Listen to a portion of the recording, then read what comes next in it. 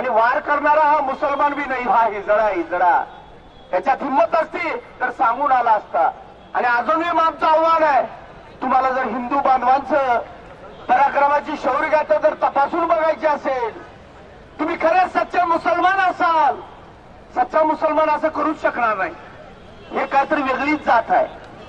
यांनी जर खरोखर हिंमत असेल एका बापाची औलाद असेल तर त्यांनी सांगून पुढे यावं.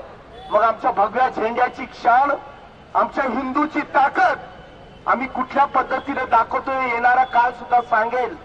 पण हे लोक कुठून तरी येतात काहीतरी करतात. अनेक लोक हिंदू मुस्लिम शीख इसाई भाई भाई म्हणून भाषण देतात. त्यांना माझा एवढाच प्रश्न आहे. काय फक्त हिंदूंनी ठेका घेतलाय? फक्त आम्ही चार पावलं पुढे यायची. फक्त आम्ही तुम्हाला भाई भाई म्हणायचं. आणि तुम्ही बेसावत असताना आमच्यावर वार करायचं. आमची हत्या करायची आणि आम्ही काय हातात काकडं घालून बघत बसायचं? अरे तुम्हाला जर हिंमत असेल तुमच्या खराखर माणुसकी असेल तुम्हाला खरोखर कुराण माहिती असेल खरोखर मुसलमानांचा धर्म माहिती असेल ते धर्म परत एकदा वाचून द्या. वाचून या आणि मग तुम्ही निर्णय घ्या की तुम्हाला काय करायचं आहे. एक गोष्ट मुद्दाम सांगितली की या आमच्या विश्व हिंदू परिषदेच्या कार्यकर्त्यांनी. भारत पाकिस्तान बनला त्यावेळेस तुम्हाला पाकिस्तानात जायची मुभा दिली होती. तर तुम्हाला आमच्यावर भाऊ म्हणून थांबायचं नाही ना, हमारे साथ भाईचारा आपको पसंद नहीं है ना वो भी यही हाल होने का एक आह्वान करता है। मैं कहता हूँ, प्रधानमंत्री तक पहुँचने से पहले साले मेरे सामने आ। तेरे जैसे लोगों को खत्म करने के लिए हम काफ़ी है।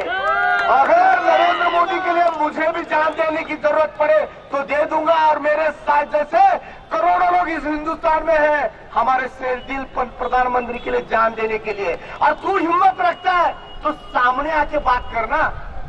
मोबाइल पे और वीडियो वायरल करके कहा, कौन से बिल में छिप गया है? सामने आओ, प्रधानमंत्री का एक शागिर्द, प्रधानमंत्री को चाहने वाला एक इंसान तुमको तुम्हारे औकात दिखाएगा। और मैं मुसलमान भाइयों को भी मेरा अनुरोध है, मेरी गिनती है। ऐसे सालों के साथ मत रहिए, क्योंकि हिंदुस्तान का हिंदू और मुसलमान भाईचारे के साथ रहना चाहता है।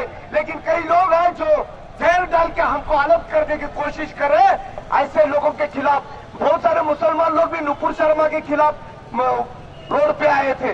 उनको मेरा चैलेंज अभी आओ ना। एक इंसान की हत्या करने का से तुम्हारे कुरान में लिखा है, कौन से धर्म में बताया अभी सामने आना साले बता, कि हम भी इसके खिलाफ है। हत्या उनके खिलाफ है, हत्या करने वाले इंसान के खिलाफ है। ये बताने के लिए बाहर नहीं निकलते मतलब तुम्हारा देश प्रेम भी खोखला है छोटा है टिका हुआ है। अगर भारत के ऊपर प्यार है, इस भर्ती से आप तुम प्यार करते हो तो रास्ते पे आके बताओ कि हम इसका खंडन करते हैं इसके खिलाफ। है और जिसने भी वो आह्वान किया है, हमारे प्यारे प्रधानमंत्री के खिलाफ, उसे मैं चैलेंज कर रहा हूँ। बेलगाम शहर में है। आओ, बताओ टाइम और दिनांक। टाइम बताओ, समय बताओ, जगह बताओ, वहाँ मैं आता हूँ। अगर तू नहीं तो मैं भी नहीं रहूँगा। लेकिन मैंने प्रधानमंत्री तक तुम्हें पहुँचने की बिल्कुल ज़रूरत भी नहीं होगी, और तेरी इतनी हिम्मत भी नहीं होगी। छुप छुप के गायर आते साले अगर मर्द की औलाद है तो सामने से आ और हिंदुओं की ताकत को आजमा ले फिर प्रधानमंत्री छोड़ो। मेरे जैसे सामान्य कार्यकर्ता को भी तू नाम नहीं मार पाएगा। अगर मारना है तो सामने से मार कर फिर दिखाएँगे शिवाजी महाराज की तलवार में कितनी ताकत है। रानी चंद्रमा की तलवार में कितनी धार है सिखाने का जज्बा हम भी रखते हैं। और हमारे सारे हिंदुओं भाइयों को भी मैं यही बताना चाहूँगा ये अभी भाईचारा का भाषण थोड़ा कम होना चाहिए। प्रधानमंत्री नरेंद्र मोदी जो पुलवामा की घटना हुई तब बताया था, चालीस मारोगे चार सौ को मार के आएँगे। अभी एक को मारोगे तो दस को मारने की हिम्मत हम भी रखते हैं। वो हमें हिम्मत हो हम कानून की इज़्ज़त करते हैं, हमारे संविधान की इज़्ज़त करते हैं, हमारे धर्म और संस्कृति की परंपरा पालन करने की कोशिश करते इसका मतलब हम शंड नहीं है, हम का नामर्द नहीं है।